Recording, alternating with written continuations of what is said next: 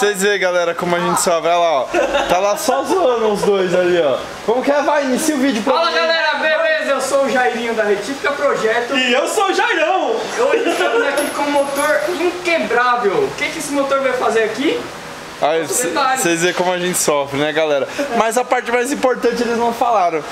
Antes de tudo, já entra aqui embaixo, se inscreve no canal, clica no sininho, ativa as notificações, deixa aquele like da hora pra mostrar o seu apoio pra gente e roda a vinheta. 02, que dia que tem vídeo? Todas terças, quintas e Sábado às sábados. 19 horas. É isso aí. Bom, pessoal, meu pai não está aqui hoje. Ele foi pro Paraná pescar.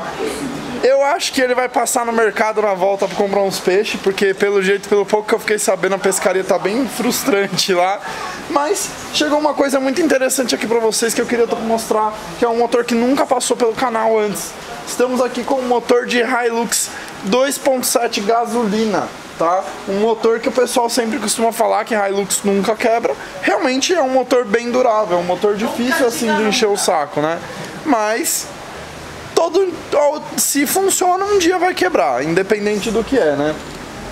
E aqui nós tivemos um problema bem grave, né? Temos dois, temos um par de eixos balanceadores aqui nesse motor e eles acabaram travando. Eles travaram, acabou travando todo o motor, né? É, acabou até fundindo esse motor, né? Então se vocês olharem aqui, vocês vão ver que tem bastante marca no virabrequim, tá vendo? Ó? Fundiu biela, fundiu mancal, fundiu tudo aqui basicamente, né? Então aqui no caso, muito provavelmente a gente vai ter que retificar. Eu acredito que esse colo aqui, por exemplo, talvez tenha que recuperar. Eu ah, só assim de olho, pelo tanto que ele comeu, é bem capaz da gente não conseguir passar ele para 0,25. Ou ele vai pular direto para 0,50, ou talvez tenha até que recuperar esse colo aqui, tá? É, esse aqui também tá bem feio, mas eu acredito que ele consiga pegar 25, tá? É um motor bem resistente, é um motor bem parrudo, aguenta bastante coisa, mas eventualmente todo mundo está suscetível a algum tipo de falha, né? É bem interessante. É, aqui o que, que a gente vai fazer? Vamos fazer uma solução bem, bem comum, que nem vocês já viram no canal em outros casos, que nem os Jetas TSI. O que acontece? Aqui nos eixos auxiliares, galera, você pode ver que ele é usinado aqui no próprio, no próprio ferro fundido do eixo e temos buchas no bloco, tá vendo? Que a bucha também tá com marca que fundiu. Então o que, que a gente faz? É, para evitar que isso aconteça novamente, porque assim não é uma não é recorrente esses motores terem quebras assim catastróficas, né? Mas é relativamente comum esses motores darem um tipo de trabalho nessa parte dos eixos balanceadores. Outro, outra picape que é bem comum disso acontecer são as L200, né? E aí a gente acaba fazendo que nem a gente faz no Jetta TSI. A gente remove essas buchas que tem aqui no comando e acaba, acaba usinando o eixo balanceador, trocando todo esse sistema de bucha, né? Que no caso ali ela, a lubrificação vem, vem um filme de óleo em volta do, do eixo e da bucha e o, e o eixo fica flutuando ali no meio, né? É um sistema que funciona muito bem, mas ele acaba dando algumas outras, algumas outras dificuldades. A gente acaba atualizando isso, né? E colocando rolamentos. O rolamento ele vai te ajudar porque você não precisa ter uma pressão de óleo direta para pressurizar ali, então é um ponto a menos para a bomba de óleo ter que lubrificar, então consequentemente você já ajuda, é, como você tem um lugar, um ponto a menos de vazão de óleo dentro do motor, você consequentemente ajuda na pressão de óleo como um todo, e o rolamento ele simplesmente funciona só pelo óleo que é salpicado do funcionamento do motor, então o óleo que escorre, que respinga, tudo já é o suficiente para o rolamento. E quando você monta é, esses motores com rolamento no lugar do eixo, você acaba já não tendo mais esse tipo de problema de você do eixo travar, do eixo fundir, né? É, obviamente, como eu falei no começo do vídeo, né? Pode ser que quebre, pode ser que quebre, mas numa quilometragem muito elevada ou para algum tipo de problema externo. Mas num funcionamento normal, o rolamento ele tem uma vida útil bem maior do que as buchas originais, tá? É, então a gente acaba fazendo essa substituição, isso é bem comum nessas Hilux, nas L200, em alguns motores a diesel também, né? No caso aqui a gente está falando de um gasolina, que inclusive é um motor que eu, teria, eu tenho muita curiosidade de ver um preparado. Eu já vi alguns carros lá no exterior montado, forjado esse motor, não na Hilux, mas em outros modelos da Toyota, e assim, gera um resultado bem bacana, assim, sabe? Eu acho que é um motor que que deve ser bem interessante. Eu acho que se eu montaria um carro de drift hoje, seria um dos motores que eu cogitaria colocar, porque é um motor de cilindrada alta, então você tem bastante torque, né? E com pouca, assim, pouca pressão, eu acredito que você já tem uma potência bem, bem legal, né? Você vê que é um motor com cinco mancais, mancais bem largos, ó. Tá vendo? Bem largo, um parafuso grosso aqui, então quer dizer, você deve ter uma boa resistência aqui nessa parte de bloco. Bloco de ferro fundido, bastante nervura aqui no bloco para dar resistência. Então eu acredito que é um bloco que apenas com poucas modificações, como talvez um parafuso um pouco mais resistente no mancal, é, pistão em biela forjado, por exemplo, eu acredito que você consiga atingir um resultado bem alto de potência no motor desse, né? Vira brequim de aço, né? Uma forma interessante, acho que eu nunca, não sei se eu já mostrei isso no canal para vocês, é justamente aqui, ó. Essa ranhura larga que você vê aqui, nessa né, rebarba de material, é justamente como a gente sabe identificar é, se o virabrequim é de aço ou de ferro fundido. No caso aqui nós temos um virabrequim de aço, aqui nesses virabrequins aqui eu consigo mostrar para vocês um virabrequim de ferro fundido. Como esse AP aqui, ó, ele é de ferro fundido. Ele tem uma rebarbinha bem fininha aqui, ó, tá vendo? Bem fina, bem fina mesmo. Então o que acontece? Ó, mais um aqui, ó, rebarba bem fina. Por quê? Porque o virabrequim de ferro fundido, ele é uma fundição, então a, a, a, liga é derretida e colocada dentro de uma forma, e aqui você tem a junção da forma, de uma forma para outra. E no caso do virabrequim de aço, você tem a peça, a peça é colocada num, como se fosse numa estamparia e vem uma prensa que fica batendo nela até ela ficar com o formato do virabrequim e depois ser usinada, né, da maneira correta. Então você consegue ver por essa rebarba grossa, porque como é na prensa, as rebarbas ficam muito mais espessas assim na hora que você vai, na hora que vai tendo o procedimento de fabricação da peça. Então, Olha que legal, nós temos um bloco que aparentemente é bem resistente. Temos um virabrequim também, assim, com uma liga forte, um virabrequim que tende a ter uma, uma, uma boa capacidade de receber carga, né? Os colos também, o diâmetro dos colos são bem grandes, então você tem uma área boa para distribuir a força da, na bronzina aqui. Você tem bastante parafuso de volante também para dar uma resistência maior aqui na parte que vai receber a tração né? Que vai a parte do, do encaixe do câmbio, do volante. E, meu, olha que bonito o desenho da biela. Pistão bem grande, ó. Enorme esse pistão aqui. Eu não cheguei a medir ele, mas ele é bem grande, né? Motor 2.7, então com certeza ele tem um diâmetro bem, bem maior do que o comum, assim, que a gente está acostumado no mercado. A única coisa que teria que realmente calcular aqui, galera, eu diria, esse motor, se eu não me engano, também é cabeçote é cabeçote multiválvula, então já mais uma coisa que daria um pouco mais de, de liberdade para você extrair um pouco mais de potência seria realmente calcular, por exemplo, o RL, calcular alguns outros detalhes para ver se realmente é um motor que teria capacidade de girar bastante, né? Talvez, mas eu acredito que seja um motor que seja muito assim é bem interessante para uma preparação, de verdade. Eu, eu, não sei se eu montaria uma Hilux com uma configuração muito forte, né? Porque já é um carro alto, né? Já tivemos, agora acho que nas, nas últimas gerações isso foi corrigido, mas antigamente era um carro que era bem fácil de capotar, você via diversos, diversas pessoas comentando sobre isso. Mas eu acho que às vezes em um outro Toyota, esse seja um motor assim extremamente capaz de fazer muita potência, sabe? Com uma certa facilidade, sabe? Assim, sem grandes é, sem assim, puta, vou ter que colocar camisa forjada, vou ter que reforçar bloco, vou ter que fazer isso, vou ter que fazer não sei o que, preparação de cabeçote, comando, válvula, mola, prato, tra... sabe? Eu acredito que um motor desse simplesmente com pistão e biela, é, eu acredito que você deve conseguir atingir uma potência bem razoável sem, sem grandes esforços. Mas é isso aí. Vamos para a próxima parte do vídeo que ainda tem bastante coisa para rolar por aí. Bom, é o seguinte, pessoal, aqui na nossa sala de montagem nós temos o nosso quadrinho pequeno de ferramenta, mas agora o Gerinho resolveu fazer uma mudança meio drástica aqui. Eu acho que tá faltando ferramenta. Eu acho que o quadro tá meio depenadinho ainda. Ainda tá meio depenado, mas é, não, acho que em vídeo a gente não mostrou isso, mas em stories você mostrou. Então se você não segue a Retífica, tem o Instagram da Retífica aqui na descrição. Corre lá que às vezes você perde um pouco do que acontece no nosso nosso dia a dia aqui. A gente precisa fazer um quadro de ferramenta pro Nélio, que é o rapaz que fica ali na parte de usinagem de bloco. Isso, Né? quer mostrar? Vamos ali mostrar rapidão. Vamos, vamos ali Então vem mostrar rapidinho. Então, bom, esse é o quadro de ferramenta do Nélio e esse é o Nélio. Exatamente, olha o Nélio aí, ó. E aí, Nélio, tudo bem?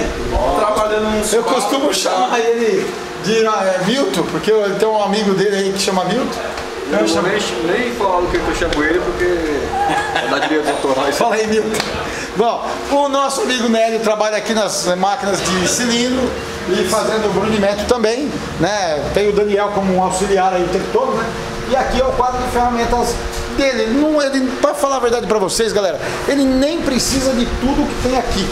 Porque como ele trabalha mais no cilindro e outras coisas, mas às vezes ele precisa de uma 17, uma 19, então a gente fez um catado, vida, um é. catado de ferramenta e colocamos aí pra ele. Aqui ainda tá meio bagunçado, galera. A gente ainda tá separando as chaves pra ver o que vai faltar, o que não vai, tudo.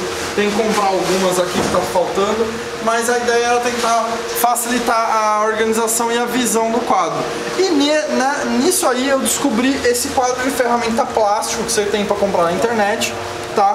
Que vem com esses ganchinhos aqui, ó, que você simplesmente encaixa. Você só empurra pra cima, ele encaixa, muda de lugar, você faz o que você quiser. E eu achei isso muito prático e é uma coisa muito barata de comprar, né? E aí nessa pegada, a gente tá fazendo a firma quase toda, né? Aqui é o canto da conferência. Então eu tenho um cara que trabalha aqui o dia inteiro fazendo conferência de ajuste de folga, tanto de biela quanto de folga. Então ele tem o instrumento de metrologia dele aqui. A gente também precisava juntar umas ferramentas para ele e como aquela, aquela ideia tinha sido muito boa, a Mas- gente comprou para cá. Mais o, o outro salão que é maior do que o salão que a gente tinha. Que a gente começou a levar as bielas, tudo que aí. A gente tinha um canto aqui só de biela, para falar a verdade para vocês. A gente tirou e colocou aqui, ó. Também mais um quadro, um quadro de ferramenta. Então, na verdade, virou um canto de ferramenta. Mas também estamos defasados aqui de chaves. Então, se você olhar, é, ele tem combinada com chave estrela, tá? Mas ele tá, falou assim, Jarão, vou fazer uma lista do que falta e você vai ter que ir até uma casa de ferramenta comprar as que faltam. Então, tem ferramenta faltando lá no Nélio, tem ferramenta faltando ali naquele quadro. E agora, galera, E agora, sem falar, resolveu gastar mais um pouquinho do meu sem dinheiro. falar anteriormente com o bonitão aqui, Isso. eu fiquei um pouco nervoso um dia e eu falei, quer saber, eu vou fazer o quadro acontecer e vou dar meus pulos aí. E comprei o kit de o kit de coisa, né? No caso lá no Kit de quadro de ferramenta. Exato, eu não lembro quantos a gente usou lá, mas aqui tem aproximadamente 60 placas. 60 plaquinhas. Exato, vou mostrar pra vocês como tá ficando. Não é o layout final ainda, tá? Porque faltam algumas ferramentas, falta um pouco de espaço. Eu já tô resolvendo isso, mas E ainda temos o Daniel Santos que tá quase pendurado no quadro também, né? É. Ó, o Daniel tá quase, falta colocar uns ganchinhos pra pendurar o Daniel ali. Exatamente. Mas aí, tá aí, ó, o garoto colocou aí um bocado de peça aqui, vai mais alguma coisa também? Vai um outro martelo igual a esse, só que o de ferro. Ah, entendi, não tá por aqui não? Então, era ele que eu tava procurando na hora que eu tava olhando. O Daniel Santos deve estar usando por aí. Mas tá aí, galera, ele tá mudando, alterando tudo aí, ó. Eu achei que já mudou bastante a cara. Eu já particularmente achei que ficou muito, tá ficando muito legal, muito bonito, né? Só que o que acontece, pessoal? Eu comecei a montar as ferramentas, a gente tem bastante ferramenta, né? E começou a faltar espaço.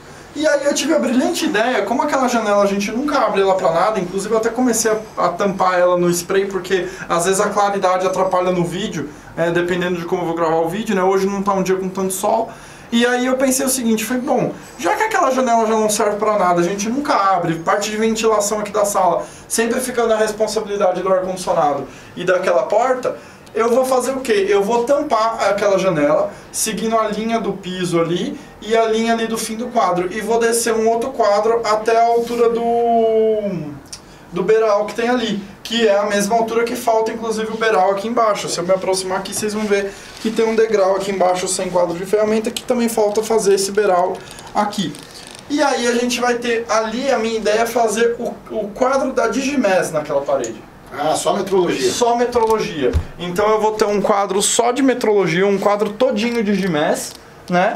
E um quadro do lado, que esse é o quadro cheio Pedi de um ferramenta. adesivo pra Digimess pra colocar assim no fundo, pra quem olhar e falar É, assim, Digimess. os que tinha no quadro antigo eu guardei, eles estão colados ali na parede, ali, ó, no- na lozinha, tá vendo? Ó. Digimess, manda um adesivo pra nós, bem grande assim, ó, pra gente colocar, ó. Vai ficar, toda vez que a gente Vai filmar, aparece teu nome ali, ó. Bonito, hein? Vai ficar bonito. Vai ficar bonito. E aí sobra mais espaço pra mim colocar mais ferramenta aí. Mas né? vai faltar ferramenta pra você agora, porque você já começou a distanciar aqui, ó, muito. Não, eu distanciei porque é o seguinte, cada, cada conjunto de placas, quando você compra o kit, galera, não é caro, tá? Custa na faixa de mais ou menos o que? Uns 30 reais cada kit.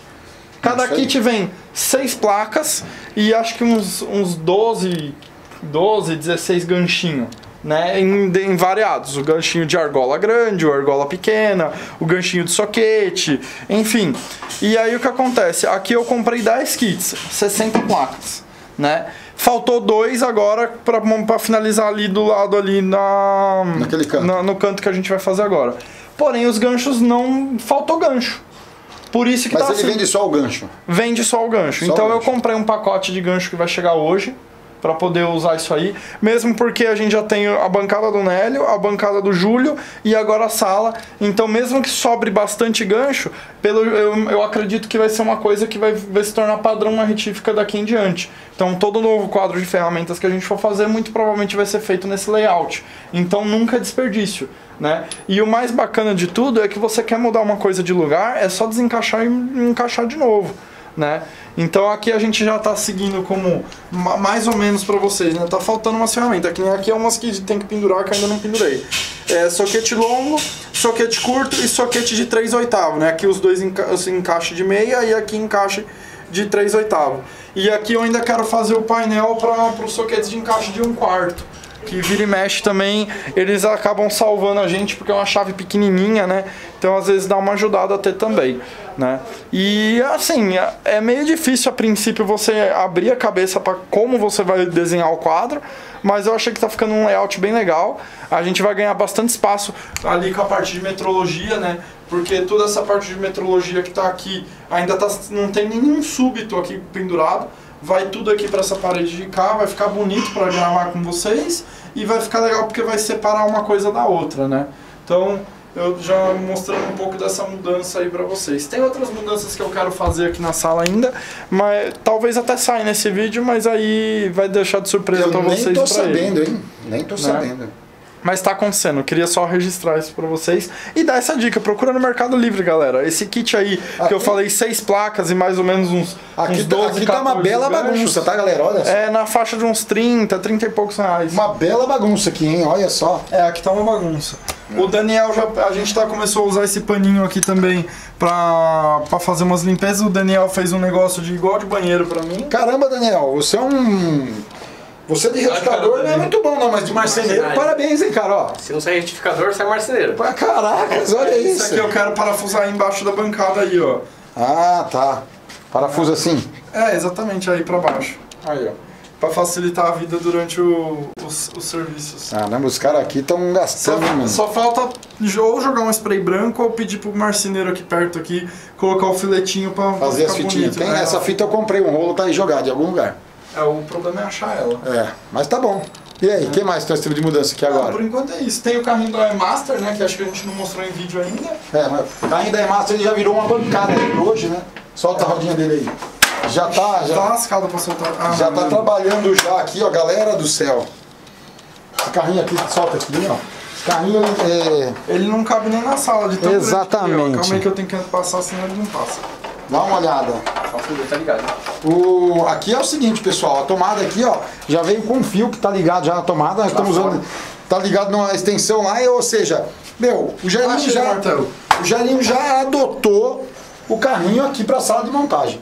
É. Veio- vieram dois carrinhos desses, vieram, veio esse aqui que é uma bancada móvel e o outro é uma, uma é uma bancada de, de você desmontar um motor ou um câmbio e caso ele vaze o fluido, o óleo, ele tem já um, um ralo que você simplesmente todo o líquido já vai cair num tambor que é um coletor de, de fluidos, né? E maravilhoso também. Esse aí já tá lá fora com a galera. E esse aqui, todo bonitão. É, eu, ainda, tá- eu ainda tô pensando, eu queria muito que ele ficasse aqui dentro, porque a o pouco que a gente já trabalhou em cima dele, ele é muito bom de trabalhar, mas eu tô achando que talvez ele não vai caber, porque o nosso espaço é pequeno. Eu vou ter que dar uma, dar uma pensada ainda como, como fazer pra, eu tra- eu trabalhar com ele aqui dentro. É, mas é um belo carrinho, hein? Parabéns, E-Master. Olha, eu queria dizer pra você que tem uma oficina pequena, precisa de uma bancada móvel. Pode colocar o motor aqui, trabalhar aqui em cima do motor. Pode, não. Ontem mesmo já foi trabalhado em cima dessa bancada, montaram um motor aqui que foi entregue agora em pouco. E aqui eu digo pra vocês, nota 10. Resistente mesmo. Bom, vamos ver o que mais acontece aqui no quadro de ferramenta na retífica e eu vou atualizando vocês. Bom, pessoal, espero que vocês tenham gostado desse vídeo com algumas coisas diferentes, um pouco da nossa atualização da sala de montagem ainda não está pronto, mas aos poucos a gente vai desenrolando isso aí. Um spoiler de um dos próximos vídeos para vocês, a Pesão 2.0 20 válvulas. Mas se você gosta desse tipo de conteúdo, já entra aqui embaixo, se inscreve no canal, clica no sininho, ativa as notificações, deixa aquele like da hora para mostrar o seu apoio pra gente. E não esquece, se você gostou, manda pros amigos, se você não gostou, manda pros inimigos. Valeu, galera. Falou!